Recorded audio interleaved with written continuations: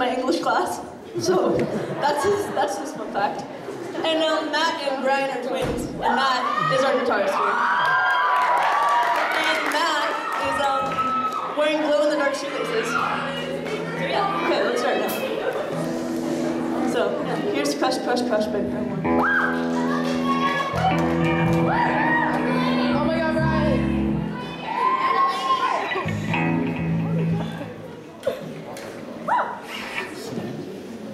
Open.